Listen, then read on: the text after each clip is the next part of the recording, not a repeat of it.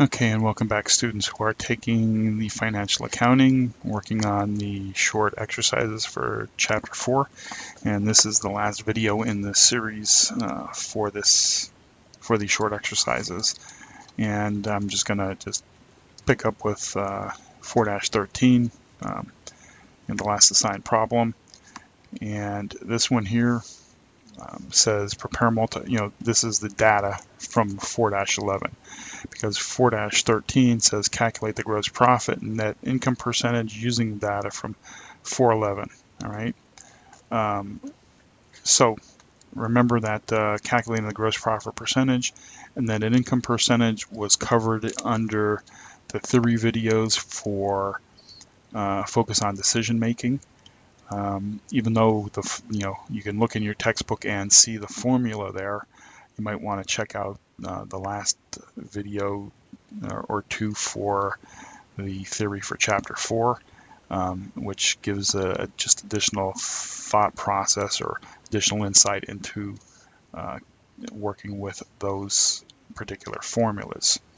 Right. So with that said, um, we're going we're going to calculate the gross profit percentage. And remember the, the, the formula for the gross profit percentage, gross profit percentage is equal to the gross profit over the net sales revenue. Okay, so that's the formula. All right, so um, when we're looking at the gross profit, you know, remember this is our, our data, when we're looking at gross profit, what are we looking at? Um, you know, if you've uh, watched the, uh, or if you work through the problems, let's see here, I'm going to bounce up real quick. Uh, income statement, I don't want to do that. All right. Uh, okay, yeah. So if you were kind of like uh, look watching uh, uh, 4-9, all right, the short exercise 4-9, that video. Um, I went into a little bit more thought process on gross profit. But basically, for gross profit, what you have is um, your sales, and often that's in the form of a net. Remember, net being sales less um, sales discounts, less returns and allowance. Okay, that generally gives you your net sales. And that's, uh, pay attention to that because that's what we're using for the denominator here, all right? So our net is sales revenue less sales discount less sales return and allowance, okay? Um, in order to get your net sales revenue. Right, so I've just covered the denominator there, but it also applies to the numerator in that for my gross profit, I'm looking at my sales as a net, and then I'm subtracting out my cost of goods sold, and that gives me my gross profit. Okay, so um, in this case here, we have a net sales revenue of 41,500 and we have a cost of goods sold of 21,000 so we subtract that. And that gives us a gross profit of $20,500 okay? Um, now it's asking for a gross profit percentage right? So my when I plug in the $20,500 into my gross profit, and I know that my net sales is 41,500 to get the gross profit percentage, divide 20,500 by 41,500, and you end up with 49.4%. Okay? So it's just as simple as that. Right? So quickly. I mean, that, that was a lot of theory, um, but let me just quickly work it out. If I know my gross profit, right, so I have 41.5 less 21,000. gives me 20,500. Okay, so then I, that's my gross profit and my 41.5 is my net sales revenue. So I'm going to divide the 20,500 divided by 41.5 and that gives me 49.4% when I do the math on that. Right, so that is uh, the gross profit percentage. And the net income percentage. Okay, net income percentage is equal to my net income over my net sales revenue. Okay, so we know our net sales revenue is 41.5. So what's my net income? Okay, well, my net income, remember, is my revenues, well, revenues less expenses gives me a profit or loss or my net income. However, you know, what are we looking at? We're looking at ex, uh, expanding these ideas. So for my revenue, okay, I can look at it as a net sales revenue, but in the revenue section, I also can take into consideration the cost of goods sold, which would give me a gross profit, okay? And then I take out my expenses in order to get a profit or loss, right? But as far as my expenses are concerned, okay, I can take out my expenses, right? But it's if you had, uh, let's see, it was um, 4-11 where we're creating this multi-step uh, income statement. If you go back and you watch, or if you work through that problem, or if you watch the video for that, um, I had discussed the, this idea of the interest expense because remember here we're looking at total operating expense, right? But there was the treatment of the interest expense. And what I had said was when we end up with a gross profit, okay, then we can take out our operating expenses, okay, but we also have to take out other expenses. And under other expenses, we have treatment of things like interest expense, which that interest expense generally um, relates to you know your financial uh, in, instruments that you have an interest expense on. It's not a normal part of your operating expense. Okay, um, that interest expense is treated on like uh, you know what you have to pay for you know a, no, a loan or a notes payable or something like that. It's not, um, you know, you're not paying interest on, you know, the tool you buy. Okay, so when you're looking at your expense section in problem 4-11, we expanded that to uh, to this idea right here.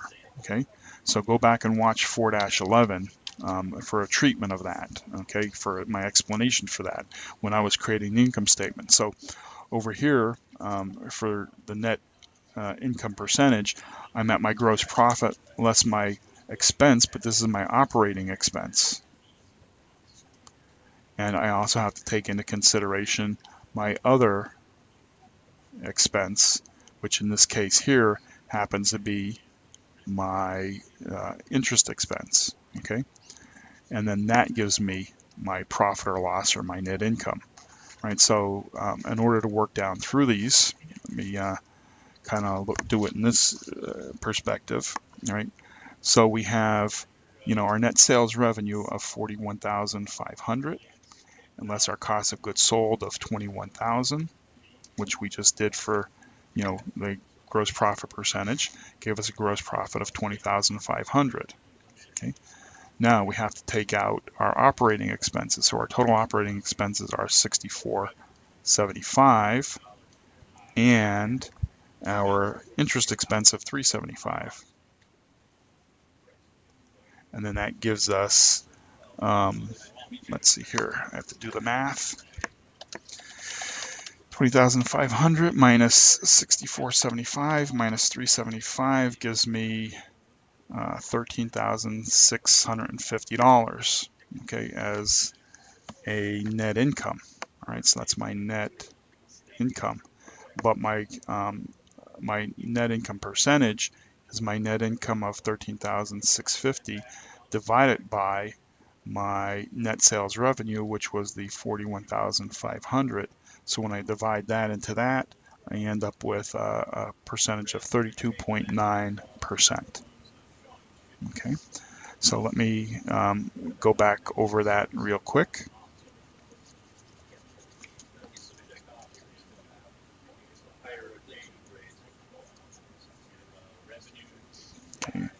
Expenses, and I'm going to call this operating here. Right. So, um, you know, we had here is our basic income statement, revenues less expenses. But as we gain more knowledge and information, you know, we're expanding, um, you know, the different sections of our income statement. In this case here, you know, our revenue section now shows all of this information so that we, we're talking, you know, we have a bottom line of a gross profit, meaning, you know, here's what my sale was, and then I'm taking out my cost. So I have a profit, right? Well, we're calling that a gross profit, but that's not our net income, all right? That's the profit just on that sale. We have to take into consideration all of our other selling and admin expenses and our other expenses. Right? Selling and admin expenses, it can also be called operating expenses. And then our other, quit being so, get this uh, so it's not so uh, hard to read. Then we have to take out our selling and admin expenses or operating expenses and our other expenses in order to arrive at our profit or loss. Okay, so we're expanding the different sections.